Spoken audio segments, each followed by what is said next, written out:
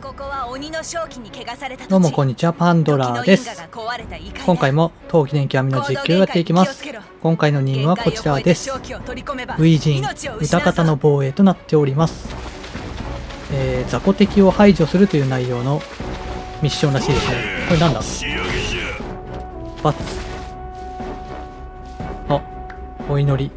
でも、向いてる方が違うくね？これ何の意味があるんでしょうね？あ、ロード早い。さあ、初めての鬼退治、頑張っていきましょう。あ、いた。こいつらか。はい。はい。はい。あれ、結構タフ。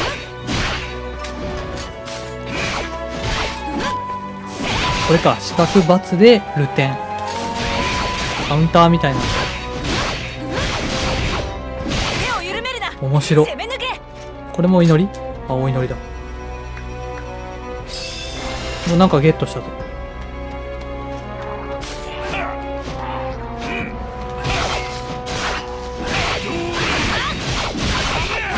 よしよしよし。何をやってるんだこれ。勝手にやってくれてますね。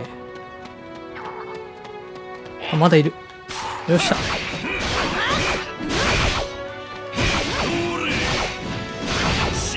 仲間が優秀だこれ。あこれか鬼払い。なるほど。これで素材をゲットするんですね。面白い。了解。ほらほら。微妙にあれだな。鬼武者っぽいな。でも小型鬼も結構タフですね。危ない危ない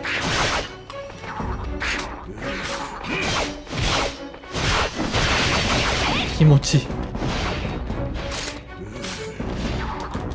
無駄にジャンプしてみたりして。よしよし鬼払い。よしよしよし。ああっちも鬼払いしないと。まとめてできるのいいですね。よっしゃ。鬼払い。素材ゲット。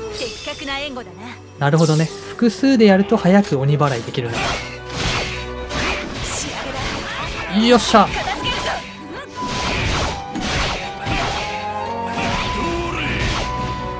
逃げる。待てい。ほら。今見事にルテンが決まったような気がする。嘘嘘。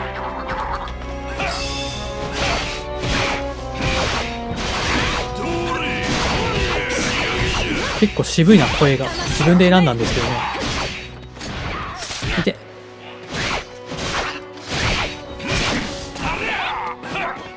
ああ面白い。どんどん素材ゲットしてる。まあ3回。はい。オッケー。お。なんだ。何これ？急にイベントになったけど。あ御霊か？御霊をゲットしたってことかな。驚いたな。御霊をその身に呼び込むとは。ありがとう。彼らは鬼にとらわれし英雄の魂。なるほど。心強い。こうやってどんどん御霊を集めていくんですね。誇るといい 御霊と心を結べるのは誇るといいかっこいいセリフだな。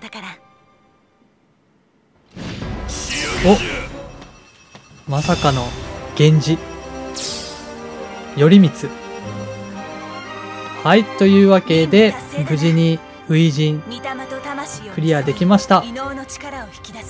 楽しいですねこんな感じで冬季伝極みの実況をやっていきますのでよろしくお願いしますそれでは次回もよろしくお願いします失礼します金眼四つ目の守り人物の太なご視聴ありがとうございましたよければチャンネル登録よろしくお願いしますスマホでご覧の方は動画の下にあるチャンネル登録ボタンからお願いします